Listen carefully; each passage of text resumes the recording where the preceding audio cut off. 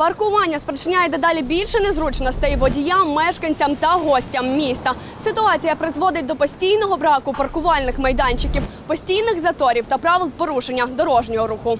Центр міста перевантажений транспортом та ще й незручний для паркування. Бідкаються львів'яни. Ну де, От де за- запаркуватися, щоб працювати на базарі? Тут немає взагалі ніякого місця паркування. Тут всі так безвихідь просто, ужасно безвихідь. Торговельний е, центр, базар Галицький. Закупитися нема де поставити, працювати теж нема де поставити. Тут таке от. Я знаю, що тут є вихід, що тут є якесь є місце, не знаю. Тут давним-давно вже така боротьба йде з тим. Ні, нема завжди місця, де припаркуватися. Тут нараз люди кругами їдуть по півгодини, шукають місце для того, щоб припаркуватися. А бувало таке, що порушуєте?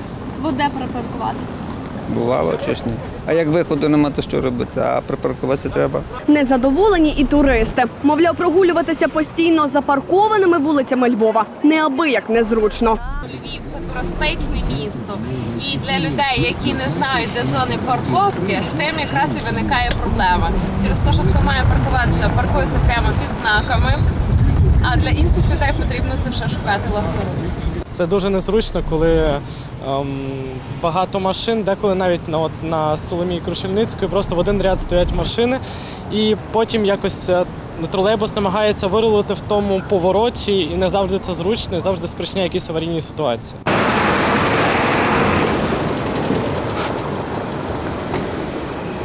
Ось тут на початку вулиці Личаківської паркуватися заборонено. Та пан Роман порушує правила, мовляв, змушений, бо більше залишити авто ніде.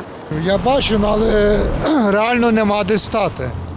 Реально, просто такі точки стоять, що просто важко, дуже важко. В середньому за одну добу патрулювання патрульні виносять е, більше ста постанов за порушення правил зупинки і стоянки.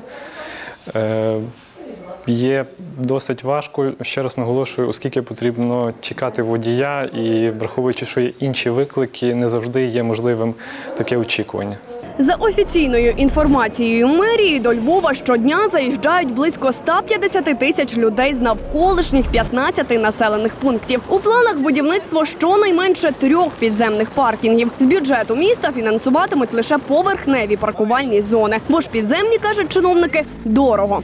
Центрі міста, скажімо, за останні 5 років е, по- порядка 1600 автомобілів є паркувалися.